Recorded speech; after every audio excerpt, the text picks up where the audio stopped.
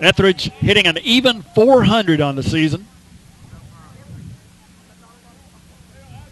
Three doubles, five RBI, and there's another base hit as he hits it sharply through the right side. So a good start to the Colonels' half of the first inning.